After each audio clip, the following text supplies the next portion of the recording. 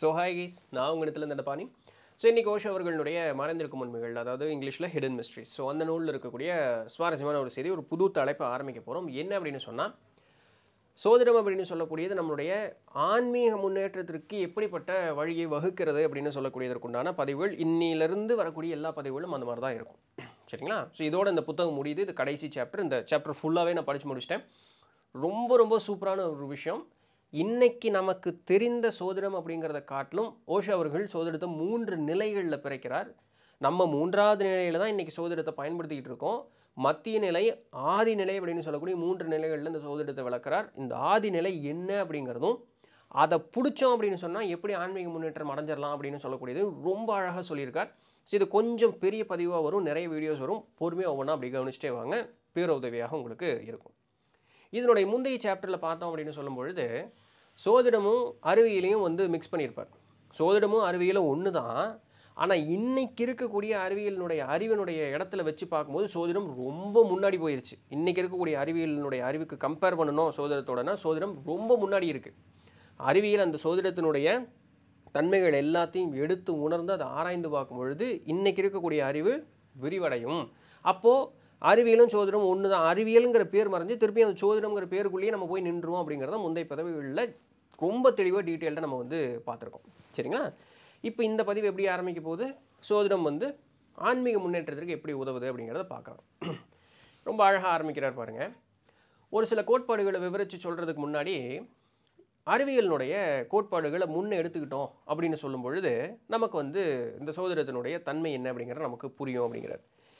இன்றைக்கி அறிவியலினுடைய கோட்பாடின்படி பார்க்கும்பொழுது இந்த பூமி பூமி உட்பட சூரிய குடும்பத்தில் இருக்கக்கூடிய இதர கிரகங்கள் எல்லாருமே எல்லாமே எப்படி உருவாச்சு அப்படின்னு கேட்டால் சூரியன்லேருந்து ஏற்பட்ட ஒரு வெடிப்பினுடைய ஒரு பகுதி தான் வந்து இந்த மாதிரி இருக்கக்கூடிய கோள்கள் எல்லாம் அப்படின்னு சொல்லி இன்றைக்கி அறிவியல் வந்து சொல்கிறாங்க ஏறத்தாழ இன்றைக்கி அதுதான் ஒப்புக்கொள்ளக்கூடிய ஒரு கூற்றாக வந்து இருந்துக்கிட்டு தான் இருக்குது இதில் எந்த விதமான ஒரு மாற்று கருத்தும் கிடையாது. அப்போது சூரியன்லேருந்து தான் பூமி வந்தது அப்படின்னு சொன்னால் சூரியனுடைய தன்மை பூமிக்கு கண்டிப்பாக இருக்கும். பூமிக்கும் சூரியனுக்கும் ஒரு தொடர்பு என்றைக்குமே இருந்துக்கிட்டே தான் இருக்கும். இதில் எந்த விதமான ஒரு மாற்று கருத்தும் இல்லை. ரொம்ப எளிமையாக பார்க்கணும் அப்படின்னு சொன்னால் நம்மளுடைய பாட்டம் பூட்டங்காலத்திலிருந்து அவர்களுடைய குணாதிசயமும் அவர்களுடைய உருவ அங்க அமைப்பும் அவர்களுடைய நடை உடை பாவனை செயல் ஏதோ ஒரு கட்டத்தில் நம்மக்கிட்ட வந்து ஒரு ஒரு மாதிரியாக நம்மக்கிட்ட சேர்ந்தே தீரும். அது எல்லாமே ஜெனட்டிக்கல் கூட நம்மக்கிட்ட இருக்கும். இதே மாதிரி தான் சூரியன்லேருந்து பிரிந்து வந்த அந்த பூமிக்கும் சூரியனுடைய தன்மை அப்படிங்கிறது இருக்குது அவங்க ரெண்டு பேர்த்துக்குள்ள ஒரு லிங்க் எப்பவுமே இருந்துக்கிட்டே தான் இருக்கும்.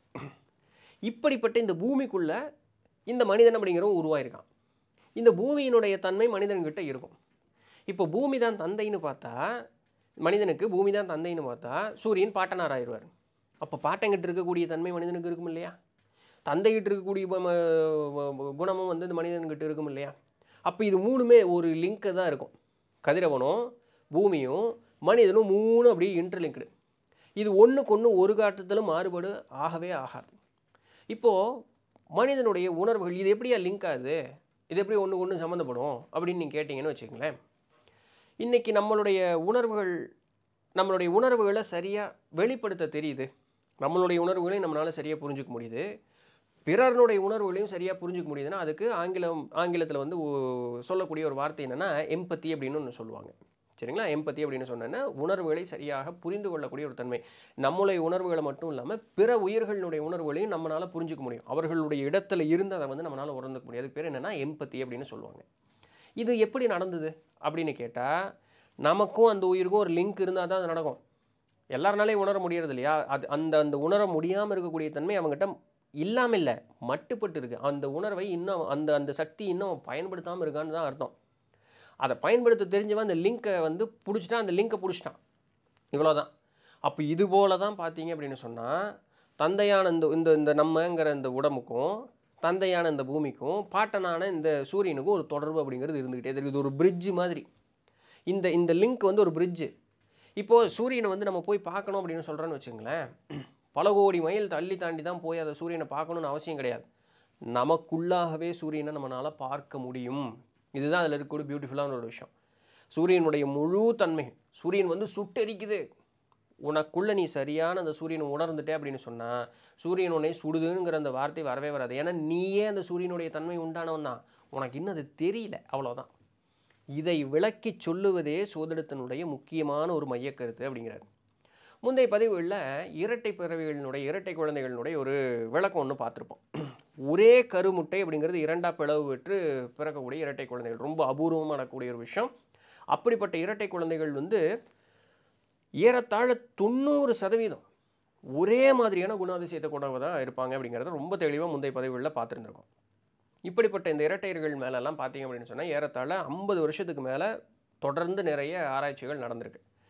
இப்போ ஒரு ரெண்டு பேர்த்தையும் ஒரு ஒரு தனித்தனி அறையில் உட்கார வச்சுட்டு ஏதோ ஒரு ஓவியம் வரைய சொல்கிறது ஏதோ ஒரு எழுத்தை சொல்லுன்னு சொல்கிறது ஏதோ ஒரு என்ன சொல்லுன்னு சொல்கிறது இல்லை ஏதோ ஒரு பாடல் பாடுன்னு சொல்கிறது ஏதோ ஒரு கரத்தை உயர்த்துன்னு சொல்கிறது காலை இந்த மாதிரி ஆட்டு கழுத்து இந்த மாதிரி பண்ணு இப்படின்னு சொல்லக்கூடிய இரண்டு குழந்தைகளுக்கும் ஒரே நேரத்தில் இந்த ஒரே மாதிரியான கட்டளைகள் விதிக்கப்படும். தொண்ணூறு சதவீதம் இந்த இரண்டு குழந்தைகளும் ஒரே மாதிரியான விஷயத்தை தான் பண்ணியிருக்காங்க. இது எப்படின்னு அவங்களால விளக்க முடியல. விஞ்ஞானிகள்னால இது எப்படின்னு விளக்க முடியல. என்னமோ இவங்களுக்குள்ள ஒரு லிங்க் இருக்குன்னு தான் சொல்கிறாங்களே தவிர இது எப்படி நடக்குது அப்படிங்கிறத அவர்களால விளக்க முடியல. ஆனால் நடந்துக்கிட்டே தான் இருக்குது அப்போ இந்த லிங்கேஜ் அப்படிங்கிறது எல்லா இடத்துலையும் இருந்துகிட்டே தான் இருக்குது கிரகங்களில் நடக்கக்கூடிய மாறுதல்கள் மனிதனுடைய உடல்லையும் மனிதனுடைய மனதிலையும் கண்டிப்பாக மாறுதல்களை ஏற்படுத்தியே தீரும். ஏன்னா இது இது இது இதையும் அறிவியல் சொல்லுங்கள் ஸ்டார் டஸ்ட் அப்படின்னு சொல்லக்கூடிய ஒரு வார்த்தையில் சொல்லுவாங்க. ஸ்டார் டஸ்ட்னா என்ன? இந்த அண்ட சராசரம் முழுக்க இருக்கக்கூடிய அனைத்து துகள்களும் எல்லாமே தொண்ணூற்றி ஒம்பது புள்ளி ஒம்பது ஒம்பது சதவீதம் இருக்கக்கூடிய அனைத்துமே மனிதனுடைய உடலுக்குள்ளே இருக்குன்னு அதே அறிவியல் தான் சொல்லுது. ஆனால் அங்கே நடக்கக்கூடிய நிகழ்வுகள் நம்மளுடைய உடலை எந்த வகையிலையும் எப் அதெல்லாம் எப்படி பாதிக்குங்கிறதையும் அறிவியலே தான் சொல்லுது. இப்போ ஒன்று இது முன்னுக்கு பின்னும் முரணா இல்லை இல்லையா? அறிவியல் இப்படி தான் மனுஷனை வந்து அதுக்கு தெரியலேங்கிறத அது ஒத்துக்காமல் மனுஷனை முட்டாளாக்கி விட்டுருது. ஸோ இப்படி தான் வண்டி ஓடிக்கிட்டு இருக்கு அப்படின்னு பாருங்களேன். அப்போது இந்த கதிரவனுக்கும் பூமிக்கும் மனிதனுக்கும் இருக்கக்கூடிய அந்த ஒரு தொடர்பு வந்து ஒரு பாலம் போல் இருக்குது அப்படிங்கிறத பார்த்தோம். அப்போ கதிரவன் சொல்லக்கூடிய அந்த சூரியனில் என்ன மாறுதல் ஏற்பட்டாலுமே அது பூமியில் பாதிப்பை ஏற்படுத்தும். அந்த பூமியில் ஒரு மா மாறுதல் ஒரு பாதிப்பு அப்படிங்கிறது ஏற்பட்ட உடனேயே அது எங்கே மாறுதல் பா- பாதிப்பு ஏற்படுத்தும்? மனிதனுடைய உடலில் பாதிப்பு அப்படிங்கிறது ஏற்படுத்தும். இதற்கு ரொம்ப ஒரு அழகான ஒரு இது பாருங்கள் அமெரிக்காவில் மரத்தினுடைய ம- மரத்தை வெட்டணும் மர வளைய ஆராய்ச்சி கழகம் அப்படின்னு சொல்லக்கூடியது. இங்கிலீஷில் எனக்கு லிட்டரலாக ட்ரான்ஸ்லேட் பண்ண தெரியல. மர வளைய ஆராய்ச்சி கழகம்னு ஒன்று இருக்குங்களாமாங்க. அதாவது மரத்தை இப்படி குறுக்கால அறுத்தோம்னு வச்சிங்களேன் அதில் வளையம் வளையமாக இருக்கும். நிறைய பேர்த்துக்கு பெரியவங்களுக்கு தெரியும். இன்றைக்கி சின்ன குழந்தைங்களுக்கு ஸ்கூலில் பாடம் சொல்லி தராங்களான்னு எனக்கு தெரியல. ஃபார்ச்சுனேட்லி நான் படிக்கும்போது சொல்லி தந்தாங்க. மரத்தினுடைய வயசை வந்து அதை கண்டுபிடிக்கலாம். அதில் எவ்வளோ அந்த வளையம் இருக்கோ அந்த வளையத்தை எண்ணணுன்னா அதுதான் மரத்தினுடைய வயசு. சரிங்களா? மரத்தை இப்படி குறுக்கால அறுத்தோம்னா வளையம் வளையமாக பார்க்கலாம். அது அப்படியே எண்ணணுன்னா மரத்தினுடைய வயசை கண்டுபிடிக்கலாம். இதை வந்து ஐம்பது வருடமாக தொடர்ந்து அவர்கள் ஆராய்ச்சி செஞ்சுக்கிட்டு இருக்காங்க. அதுலேயும் ரொம்ப பர்டிகுலராக ப்ரொஃபஸர் டக்ளஸ் அப்படின்னு சொல்லக்கூடிய ஒரு இதில் இது இது தன்னுடைய ஆயுட்காலம் முழுவதும் இந்த ஆராய்ச்சிக்காகவே அவர் வந்து செலவிட்டிருக்கார். அவர் வந்து நிறைய அற்புதமான கண்டுபிடிப்புகள் எல்லாம் கண்டுபிடிச்சிருக்காரு. என்ன அப்படின்னு சொன்னால் வியக்கத்தக்க அம்சங்கள் அப்படிங்கிறார் ஓஷோ அவர்கள். என்னென்னலாம் கண்டுபிடிச்சிருக்காரு பாருங்கள் பருவகாலங்கள் எப்படி இருந்தது அப்படிங்கிறதெல்லாம் இந்த மரத்தினுடைய வளையத்தை வச்சே கண்டுபிடிச்சிடலாம் இந்த வருஷத்தில் இந்த மழை அதிகமாக பெஞ்சிருக்கு. இந்த வருஷத்தில் வெயில் அதிகமாக பெஞ்சிருக்கு. இந்த வருஷத்தில் குளிர் அதிகமாக இருந்திருக்கு. இது எல்லாத்தையும் மரத்தினுடைய இந்த வளையத்தை வந்து கண்டுபிடிச்சிடலாம். இப்போ மரம் அப்படியே வளர வளர வளர ஒரு ஒரு வளையம் வந்து அதிகமாகிட்டே இருக்கும். உள்ள மத்தியிலிருந்து ஒரு வளையம் வந்துக்கிட்டு இருக்கும். ஸோ இப்படி விரிஞ்சிக்கிட்டே வந்துட்டே இருக்கும். ஒரு ஒரு வளையம் ஆட் ஆகிட்டே இருக்கும். இதுதான் மரத்தினுடைய வயசை கணி கணிக்கிறதுக்கு. இவர் ப்ரொஃபஸர் டக்ளஸ் இதில் வந்து என்ன சொல்கிறாருன்னா ஒரு ஒரு வருடத்தினுடைய ஒரு சீதோஷண நிலையை வந்து இந்த வளையத்தினுடைய தன்மையை வச்சு கண்டுபிடிச்சிடலாம் அப்படிங்கிறார். புத்தர் சொன்னாராம் புத்தர் வாழ்ந்த ஒரு காலத்தில் சொன் சின்ன துணுக்கு செய்தி. புத்தர் வந்து இந்த வருடம் நல்லா மழை பெய்ந்தது அப்படிங்கிறத அவர் வந்து அந்த போதி மரத்துக்கு பக்கத்தில் இருக்கிறது பார்த்து சொன்னாராம். அவர் எப்படி சொன்னாருங்கிறது மக்களுக்கு தெரியல. ஆனால் நிஜமாலுமே அந்த வருஷம் நல்லாவே மழை பெஞ்சுதுன்னு பாருங்களேன். இந்த மர இந்த வருஷம் நல்லாவே மழை பெஞ்சுது அப்படின்னு அவர் சொன்னாராம்.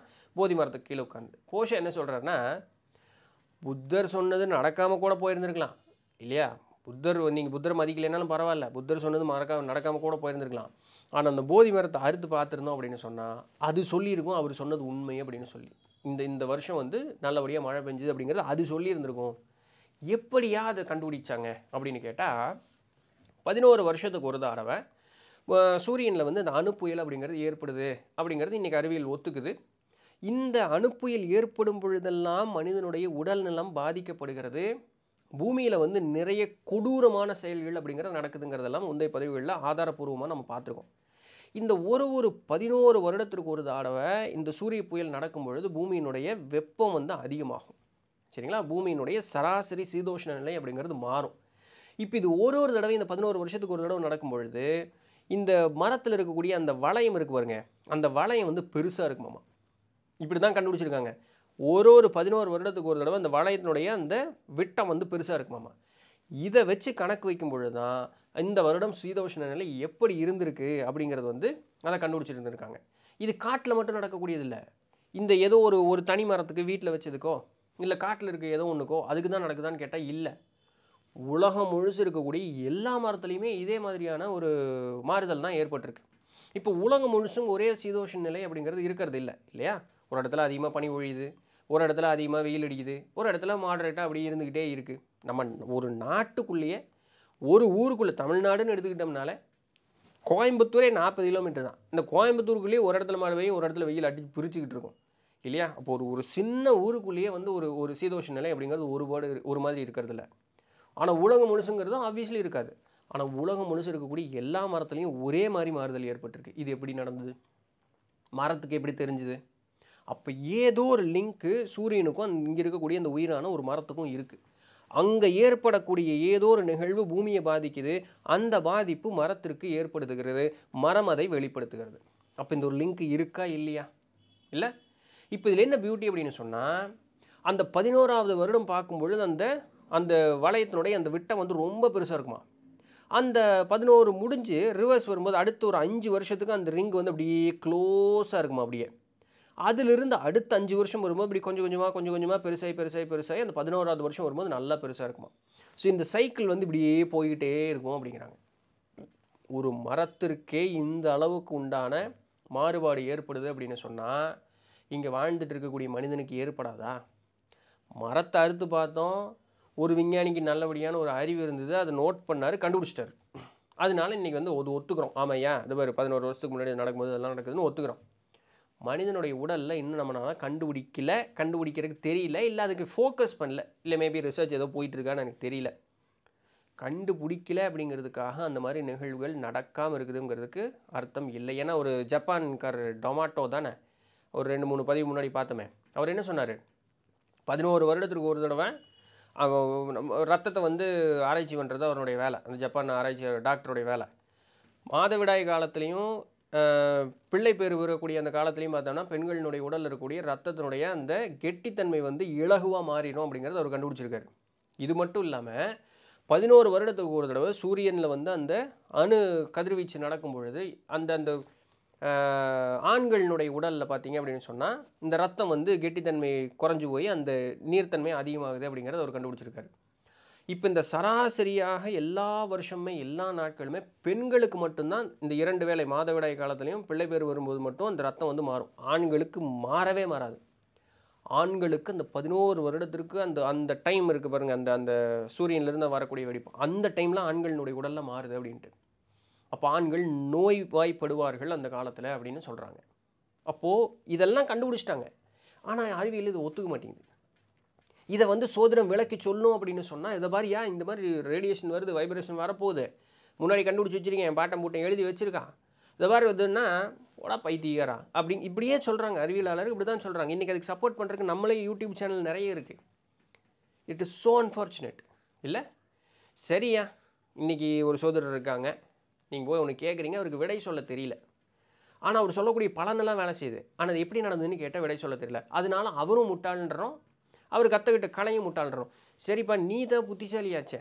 அட எடுத்ததை ஆராய்ச்சி தான் பண்ணி பார்க்கலாம்ல. எனக்கு குறை பேசுறதுக்கு எனக்கு நல்லா சாட்டிஸ்ஃபேக்டரியே இருக்குது எனக்கு அதுக்கு தான் காசும் கொடுக்குறாங்க. மேபி அப்படின்னு அப்படியே ஆட்கள் இருக்காங்க இல்லையா? ஆனால் நானாக எடுத்து முயற்சி பண்ணி ஆராய்ச்சி பண்ணி அந்த ஒரு கலையை படிச்சுட்டு தான் நான் எல்லா குறையும் பேசுகிறேன்னா அதுவும் கிடையாது. இல்லையா? ஒரு கலையை படிச்சுட்டு தான் நான் குறை பேசுகிறேன்னா நான் அதுவும் கிடையாது. சரி நீ ஆராய்ச்சி பண்ணியானா அதுவும் கிடையாது. ஆனால் அதை சொல்கிறவெல்லாம் முட்டாள். ஏன்னா இவங்க கேட்ட பதில் சொல்லி அதனால் அந் அவனும் முட்டாள் கலையும் முட்டாலாம் இப்படி தான் இன்றைக்கி வண்டி ஓடிக்கிட்டு இருக்கு எல்லா இடத்துலையும். அதை நம்பக்கூடிய ஆட்கள் உண்டு இல்லையா? ஸோ அந்த மாதிரி ஒரு தன்மையில் இருக்காதீங்கன்னு ஓஷோன்னு சொல்கிறார் என்னுடைய தனிக்கருத்தையும் நான் சொல்லி தான் இந்த பதிவை நான் இன்றைக்கி முடிக்கிறேன். இதனுடைய தொடர்ச்சி அப்படியே ஒவ்வொன்றா வந்துக்கிட்டே இருக்கும். நிறைய நிறைய நிறைய அற்புதமான தகவல்கள் அப்படியே பார்த்துட்டே இருக்க போகிறோம் ஸோ இன்றைக்கி உண்டான பதிவு இதுதான். பிடிச்சிருந்துருக்குன்னு இருந்திருக்கும் அப்படின்னு நம்புகிறேன் நாளைக்கு வேறு ஏதாவது ஒரு சுவாரஸ்யமான செய்தியில் சந்திப்போம். அது வரையும் தொடர்ந்து இணைந்திருங்கள். நான் உங்கள்கிட்ட என்ன பண்ணி நன்றி. Monaco. Vettime! Vettime! Vettime!